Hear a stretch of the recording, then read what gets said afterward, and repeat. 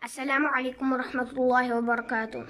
I am Abdullah Tasees and welcome to the tutorial of donut method in the 3x3 Rubik's Cube. As you know, we should have the Rubik's Cube solved. And now let's start. We can uh, just move the this layer up like uh, we do R. Or, or we can probably do R dash. I preferably do R. Then on the next side, uh, this side, we should do L dash. We should not have these colors matching or we should not have them like this. If we have like we have white, we should have white this side too. So now we first do like this, like this. Now turn the cube like this and we do like this, the same or L dash.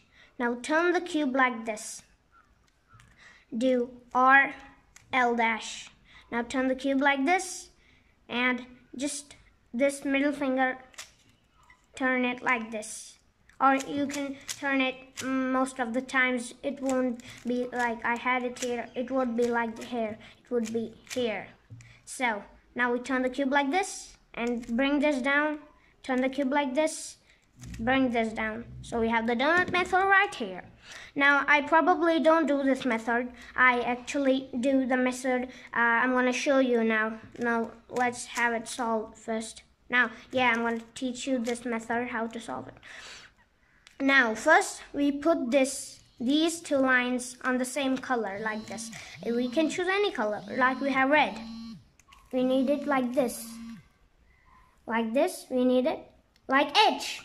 Yeah, like edge we needed any color. So I cho uh, chose red.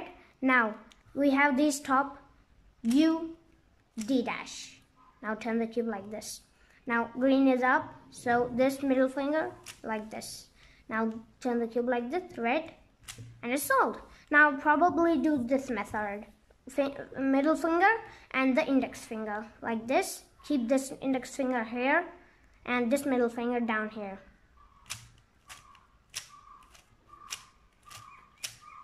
Now we have the uh, uh, donut method.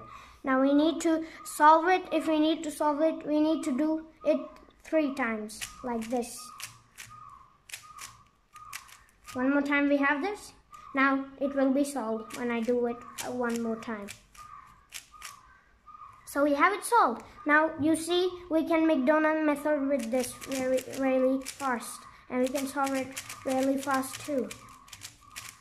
Actually, my finger hurts from yesterday and this cube isn't really soft. It is soft but not soft as this neon cube. So bye guys, comment below.